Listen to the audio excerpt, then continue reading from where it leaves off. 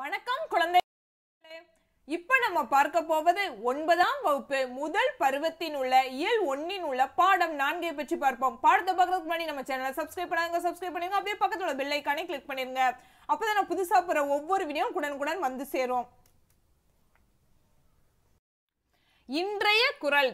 நன்றிக்கு வித்தாகும் நல்லொழுக்கம் தீயொழுக்கம் என்றும் இடும்பே தரும் விளக்கம். நல்லொழுக்கம் நன்மைக்கு வித்தாகி இருமையிலும் இன்பம் விளைவிக்கும். தீயொழுக்கம் எக்காலத்திற்கும் துன்பமே தரும். வாங்க படத்துக்குள்ள போவோம். பாடத்தின் தலைப்பு என்னன்னா வளரும் செல்வம். பாடத்தை பார்க்கறதுக்கு முன்னாடி நுழைமுனை பத்தி முதல்ல பார்ப்போம். சொற்கள் வரலாற்றை பேசுபவை. சொற்கள் வந்து நம்ம வரலாற்றை பேசுதாம். ஒவ்வொரு சொல்லிலும் இனத்தின் மொழியின் வரலாறு இருக்கிறது. தமிழ் சொற்கள் வழி தமிழர் நாகரிகத்தையும் வாழ்வையும் அறிய முடியும். அதாவது தமிழில் பேசுகிற சொற்கள் மொழியும் தமிழரோட நாகரிகம் வாழ்க்கை முறையை பற்றி நம்மளால் தெரிஞ்சுக்க முடியுதுன்னு சொல்கிறாங்க இதே போல தமிழின் வழங்கும் பிறமொழி சொற்களும் அவை சார்ந்த இனத்தின் மொழியின் வரலாற்றை காட்டுகின்றன. தமிழ் மொழி பிறமொழி சொற்களை அப்படியே ஏற்பதில்லை என்பது மரபு. தமிழ் மொழி வந்து பிறமொழி சொற்களை அப்படியே ஏற்றுக்காதாம் அந்த வகையில் கலை சொல்லாக்கத்திற்கான பணிகள் இன்று முதன்மை பெற்றுள்ளன. இதுவே மொழி வளர்ச்சிக்கான வாயிலாக உள்ளது. சொற்கள் புலப்படுத்தும் வரலாறு பண்பாடு ஆகியவற்றை உரையாடல் வழி காண்போம். வாங்க பாடத்துக்குள்ள போவோம். உரையாடல் பங்கு பெறுபவர் ஆனந்தி மும்தாஜ் டேவிட். இந்த பாடம் முழுவதும் ஒரு உரையாடல் வடிவில் இருக்கும். பங்கு பெறுபவர் யார் யாருன்னா ஆனந்தி மும்தாஜ் டேவிட். இவங்க மூணு பேர் தான் பேச போறாங்க. என்ன பேசுறாங்கன்னு பாடத்துக்குள்ள போய் பார்ப்போம். டேவிட். ஆனந்தி தமிழின் முதல் மதிப்பெண் பெற்றுள்ள என் வாழ்த்துக்கள். டேவிட் என்ன சொல்றான்? நீ தமிழ்ல முதல் மதிப்பெண் பெற்றுள்ள ஆனந்தி என்னோட வாழ்த்துக்கள் சொல்றான். ஆனந்தி நன்றி மும்தாஜ் எனக்கு ஓர் ஐயம். உன்னை கேட்கலாமா? மும்தாஜ் என்ன கேட்கிறா? எனக்கு ஒரு சந்தேகமா இருக்கு உங்ககிட்ட கேட்கலாமா ஆனந்தி உறுதியாக கேள் மும்தாஜ். மும்தாஜ் நம்ம எல்லோரும் மடிக்கணினி பயன்படுத்துகிறோம். கணினி தொடர்பான சொற்களை அப்படியே ஆங்கிலத்தில் வழங்குகிறோமா? அவற்றுக்கெல்லாம் தமிழ் சொற்கள் உள்ளனவா ஆனந்தி? அவ என்ன கேட்குறாடா மடிக்கணினி. மடிக்கணினிங்கிறது லேப்டாப் நம்ம மடிக்கணினி எல்லாரும் பயன்படுத்துகிறோம் அதுக்கு வந்து உள்ள உள்ள உள்ள பகுதி எல்லாமே வந்து ஆங்கிலத்திலேயே பயன்படுத்துகிறோமா இல்லை தமிழ் சொற்கள் தான் இருக்கான்னு சொல்லி கேட்குறா மும்தாஜ் ஆனந்தி. அவ்வாறான தமிழ் சொற்கள் இப்போது எங்கும் நிறைந்துள்ளன. அதான் ஆனந்தி என்ன சொல்றா? தமிழ் சொற்கள் ரொம்ப இருக்கு. நான் எடுத்துக்காட்டா சொல்றேன் கேளுங்கன்னு சொல்றா. சாஃப்ட்வேர் மென்பொருள்.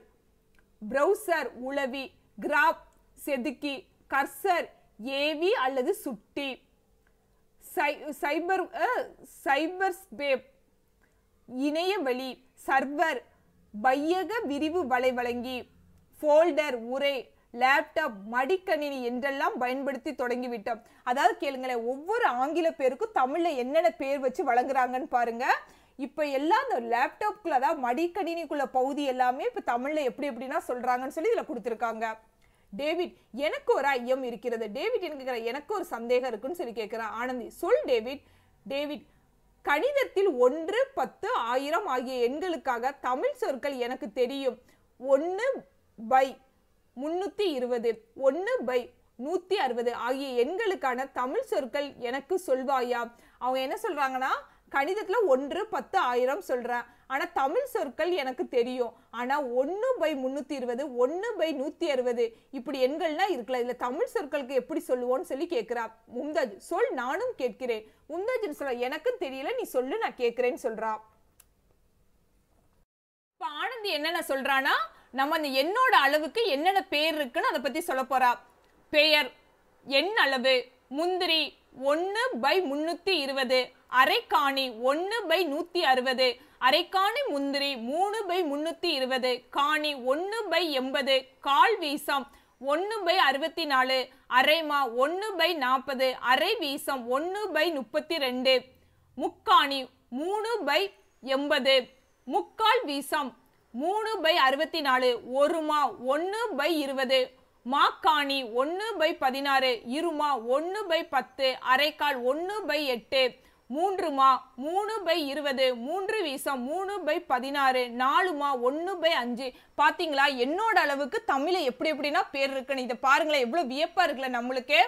போன்ற பின்ன இலக்கங்களுக்கும் தமிழ் சொற்கள் உள்ளன. என்ன சொல்றா? இப்படி போன்ற எண்களுக்கு தமிழ் பேர்னா இருக்குன்னு சொல்றா. டேவிட் இவையெல்லாம் புழக்கத்தில் இருந்திருந்தா நாம் எல்லோருக்கும் தெரிந்திருக்கும் இல்லையா? டேவிட் என்ன கேக்குறான்? இதெல்லாம் பழக்கத்துல இருந்திருந்தா நம்ம எல்லாருக்குமே இதெல்லாம் தெரிஞ்சிருக்குல்லன்னு சொல்லி கேட்கிறான் ஆனந்தி ஆமாம் நம் முன்னோர்கள் பயன்படுத்திய சொற்களை கால மாற்றத்தின் கைவிட்டு விட்டோம். நாம் நினைத்தால அவற்றை மீட்கெடுக்கலாம். என சிந்தனை மும் என்ன சிந்தனை மும்தாஜ்? என்ன கேட்குறான்னா இதெல்லாம் நம் முன்னோர்கள் பயன்படுத்திய சொற்கள். நம்ம கைவிட்டுட்டோம் நம்ம நினைச்சிருந்தா இதெல்லாம் மீட்டு எடுத்திருக்கலாம்னு சொல்றா. அப்படி சொல்லிட்டு இருக்கும்போது மும்தாஜை பார்க்குறா மும்தாஜ் ஏதோ யோசிக்கிறா. ஆனந்தி கேட்குறா என்ன யோசிச்சுட்டு இருக்கேன்னு சொல்லி கேட்குறா மும்தாஜ் நீ சொல்வதெல்லாம் நன்றாக புரிகிறது.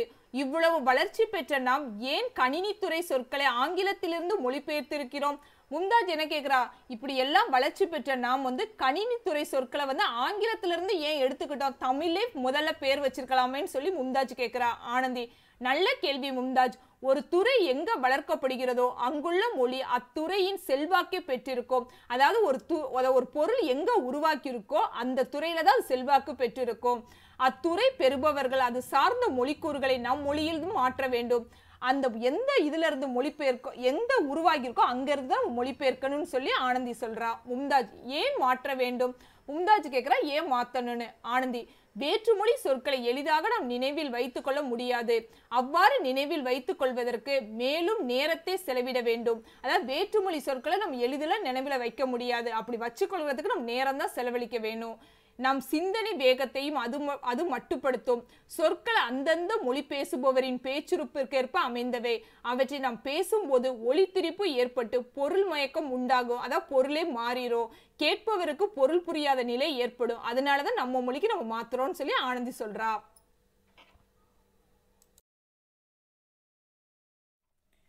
இது ஒரு புறம் இருக்க ஒரு காலகட்டத்தின் தாய்மொழி சார்ந்த சொற்களின் எண்ணிக்கையை விட வேற்றுமொழி சொற்களின் எண்ணிக்கை மிகுதியாகும்.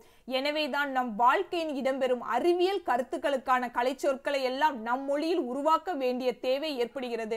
அவங்க என்ன சொல்றாங்க? இது ஒரு புறம் இருந்தாலும் காலகட்டத்தின் தாய்மொழி சார்ந்த சொற்களை விட வேற்றுமொழி எண்ணிக்கை தான் அதிகமா இருக்கு. அதனாலதான் அறிவியல் கருத்துக்கான கலை சொற்களை நம் தமிழ் மொழியிலும் ஒளிபெயர்ச்சிருக்கோம்னு சொல்றாங்க. டேவிட் ஆமாம் கலை சொற்களை ஒளிபெயர்ப்பு செய்தோ மொழிபெயர்ப்பு செய்த உருவாக்கலாம் என எங்கேயோ படிச்சிருக்கேன். ஆனாலும் எனக்கு ஒரு சந்தேகம். அதான் டேவிட் என்ன கேட்குறா நம்ம எங்கேயோ படிச்சிருக்கோம் ஆனால் எனக்கு ஒரு சந்தேகம் இன்னும் இருக்குன்னு கேட்குறாங்க அதான் ஐயம். ஆனந்த் என்ன? டேவிட் வளர்ந்த துறைகளுக்கான சொற்களை வேற்று மொழியிலிருந்து தமிழ் மொழியின் பெறுவதை போன்று வேற்று மொழி தமிழிலிருந்து பெற்றுள்ளன. அதாவது என்ன சொல்றாங்கன்னா நம்ம வளர்ந்த துளையில் வந்து வேறு மொழியிலேருந்து தமிழ் மொழியில் மொழிபெயர்ச்சிருக்கோம். ஆனால் தமிழ் மொழி சொற்களை வேற்று மொழியில் மொழிபெயர்த்திருக்காங்களான்னு சொல்லி கேட்குறாங்க டேவிட் ஆனந்தி. பெற்றுள்ளன டேவிட் தமிழ்கள் பழங்காலத்தின் கடல் துறையின் பெரும் முன்னேற்றம் அடைந்திருந்தனர். சங்க இலக்கியத்தின் நாவாய் வங்கம் தோணி களம் போன்ற பல வகையான கடற்கலன்கள் ஏற்கப்பட்டதுக்கான குறிப்புகள் உள்ளன. இதில் தமிழ் சொல்லாகிய நாவாய் என்பதை ஆங்கிலத்தில் நேவி என ஆகிவி ஆகியிருந்தது டேவிட். அதாவது என்னன்னா தமிழில் உள்ளதை வேற மொழியில மொழிபெயர்ச்சிருக்காங்கன்னு சொல்லி எடுத்துக்காட்டு சொல்றா. அதாவது நாவாய்ங்கிறத நேவிங்கிறத மாத்திருக்காங்க. மும்தாஜ் தமிழரின் கடல் ஆளுமை சார்ந்த வேறு எவ்வகை சொற்கள் எந்தெந்த மொழியில் இடம்பெற்றுள்ளன ஆனந்தி? மும்தாஜ் எனக்கு கேட்கிறா இது போல கடல் ஆளுமை பெற்ற தமிழ் சொற்கள் வேற எந்தெந்த மொழியிலேனா மொழிபெயர்ச்சிருக்குன்னு சொல்லேன்னு சொல்றா. ஆனந்தி உலகின் தொன்மையான மொழியாகிய செவ்வியல் மொழிகளுள் ஒன்றாக திகழ்கிறது கிரேக்க மொழியாகும். இம்மொழியின் கடற்சார்ந்த சொற்கள் எரித்திரை கலன் நீர் நாவாய் தோணி போன்ற தமிழ் சொற்கள் இடம்பெற்றுள்ளன. அதாவது உலக தொன்மையான மொழிகளாகிய செவ்வியல் மொழிகளில் ஒன்றாக திகழ்கிறது கிரேக்க மொழி. அதுலேயும் கடல் சார்ந்த நம்ம தமிழ் மொழினா இருக்குன்னு சொல்லி எடுத்துக்காட்டு இந்த பாக்ஸில் இருக்கு எல்லாரும் பார்த்துக்குங்க.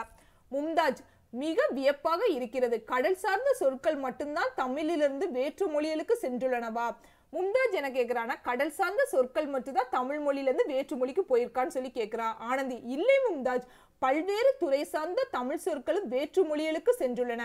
ஆனந்தி என்ன சொல்கிறா அது மட்டும் இல்லாம வேறு துறையில் உள்ள சொற்களும் அதான் கடல் மட்டும் வேறு துறையில் உள்ள தமிழ் சொற்களும் வேற்று மொழியில் இடம்பெற்றிருக்குன்னு சொல்கிறா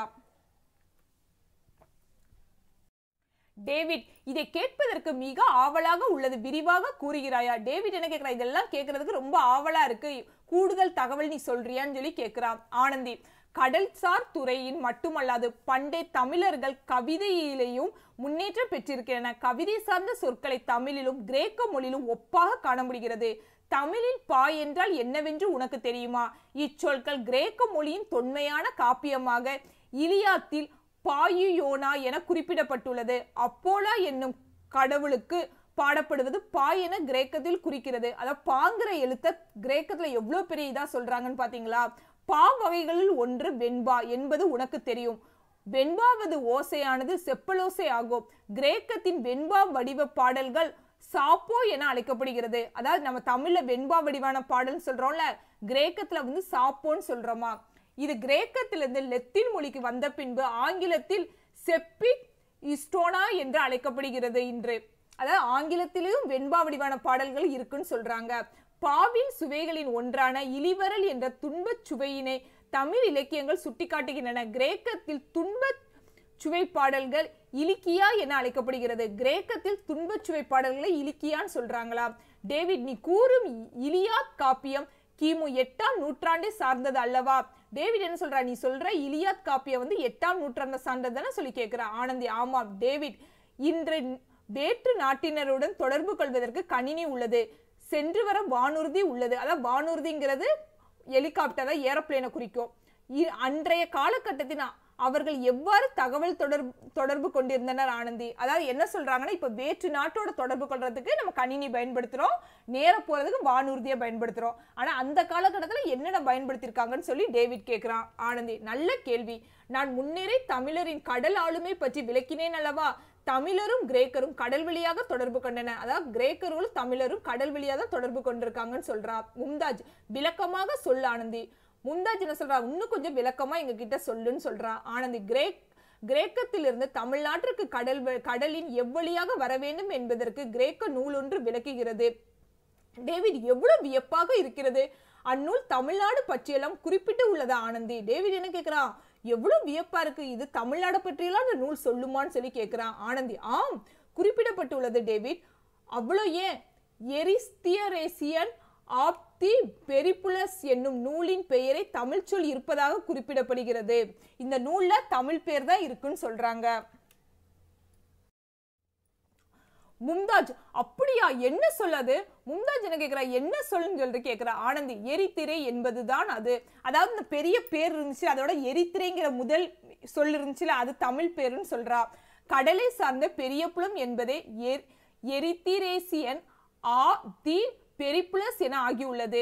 அதாவது கடலை சார்ந்த பெரிய புலம் என்பதை தான் இந்த பேர் வச்சிருக்காங்களாம் இது போன்ற தொல்தமிழனின் வளர்ச்சி தொடரையும் நிலைத்திருக்கவும் நம் நம்மாலான பணிகளை செய்ய வேண்டும். அவங்க என்ன சொல்றாங்க?